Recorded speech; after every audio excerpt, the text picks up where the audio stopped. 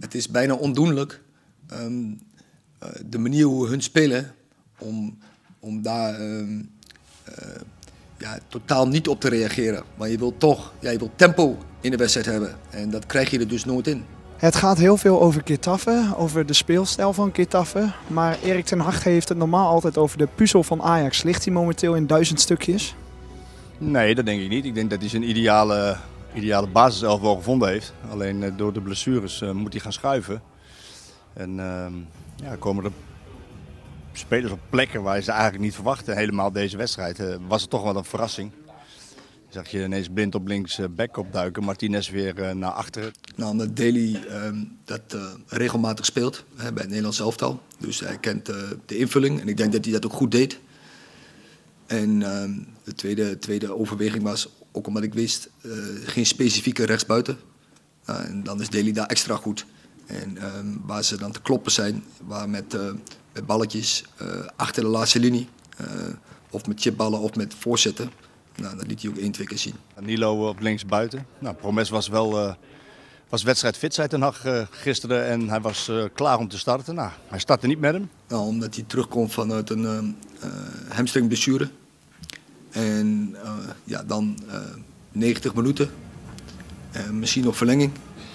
Ja, en dat is dan te veel van het goede. Dus er waren wel wat verrassingen. Ook Alvarez niet op het middenveld, ook niet achterin. Dan krijg je uiteindelijk de wedstrijd die we gezien hebben. Hè? Het, was, het was niet goed genoeg. En daar zijn we uitgeschakeld. Daar moeten we mee doen. We moeten de spirit houden die we in de ploeg hadden. En dat meenemen naar de competitie, Europa begraven. En uh, ons focussen op uh, de titel en op de, de, bekerwinst. En dan gaat het heel veel over de speelstijl van Getafe. Dat het irritant is, weten we allemaal. Maar is het ook niet een beetje slap van Ajax dat ze telkens daar naar wijzen? Nou, ik weet niet of ze daar steeds naar wijzen. Ik heb ook wel spelers gesproken die ook allemaal naar zichzelf wijzen. Ik had net met Onana uh, na de afloop van de wedstrijd gesproken. En die zei van uiteindelijk gaat het maar om één ding. Het gaat om winnen. En dat hebben wij in de Champions League vorig jaar eh, laten zien. Dat maakt helemaal niet meer uit hoe je gespeeld hebt. Kijk, hier in Ajax hebben ze de Ajax-filosofie. Je moet winnen en met mooi voetbal. Maar dat heeft niet elke club.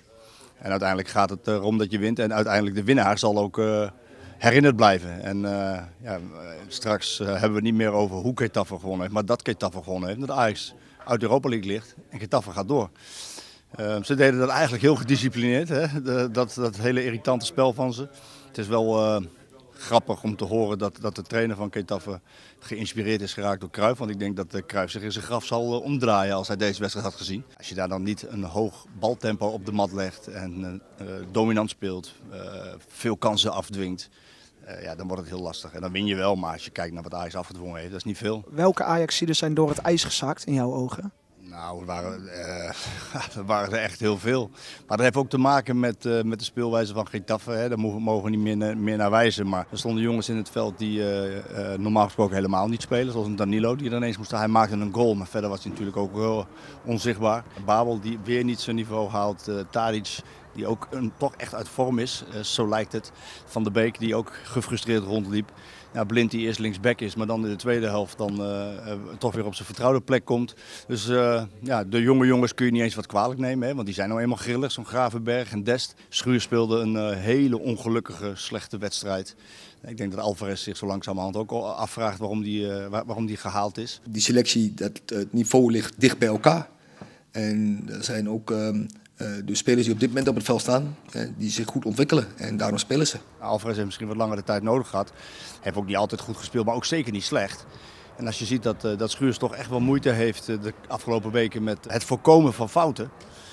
tegen Heracles was het niet goed, tegen Ketafa uitwedstrijd was het niet goed, vanavond was het weer niet goed. Dus ja, dan kan ik me wel voorstellen dat je als Alvarez denkt van ja, hey, hallo, ik ben een Mexicaans international. jullie hebben mij gehaald, ja, ik speel niet. Uh, en er staat een jongen in die heel jong is en nog helemaal geen ervaring heeft in, in zo'n wedstrijd. Kijk, deze Alvarez heeft een, uh, heeft een WK gespeeld. En uh, heeft, het, heeft het naar behoren gedaan. Ja, ik kan me voorstellen dat je hem nodig had vandaag. Ja, weet je, uiteindelijk vond ik er eigenlijk maar twee hun niveau halen. En dat was Onana zelf en, en Eiting. Ik heb wel meer goede gezien. Uh, bij ons. En, en net als uh, de teamspirit heel goed was, de houding waarmee we speelden. En dat moeten we meenemen. Dus uh, roemloze afscheid van het Europese toneel. Dan op naar zondag Ajax AZ. Een titelstrijd zonder franje inmiddels? Nee, natuurlijk niet. Nee, ben gek. De titelstrijd wordt alleen maar leuker zo langzamerhand. Hè. Ajax die heeft punten verspeeld tegen, tegen Heracles. Feyenoord kan er weer bij komen. was na de wedstrijd die Feyenoord gespeeld heeft hier in de arena, waar ze eigenlijk met rust met 6-7-0 hadden achter moeten staan stonden ze op de 12e plaats met 15 punten achterstand. Ja, Feyenoord is er weer, eh, weer, bijgekomen. Het leuke van deze eredivisie is dat is, na zondag kan het ook allemaal weer anders zijn. Hè. Dan kan uh, eh, AZ gewoon weer op een flinke achterstand staan en kan PSV gewonnen hebben van Feyenoord. Maar nee, de titelstrijd is wel, dat blijft leuk. En, en Ajax moet echt kampioen worden. Zo simpel is het nu helemaal, nu ze uit de Europa League liggen. Ze hebben een hele dure huishouding. Uh, directe plaats in Champions League is een must voor dit Ajax. Helemaal als je uitspreekt steeds dat je bij de Europese top wil aanhaken. Nou ja, dan uh, moet je kampioen worden. En dat, dat, levert al gauw 40 miljoen euro op. Ja, als je salarissen betaalt van 4 miljoen euro, heb je dat echt nodig.